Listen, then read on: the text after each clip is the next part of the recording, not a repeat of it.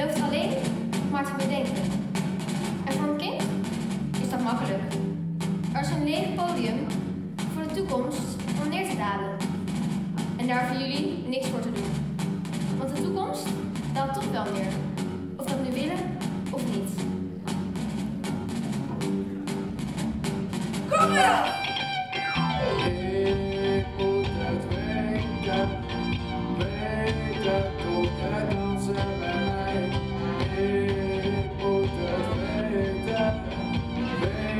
Go Göransson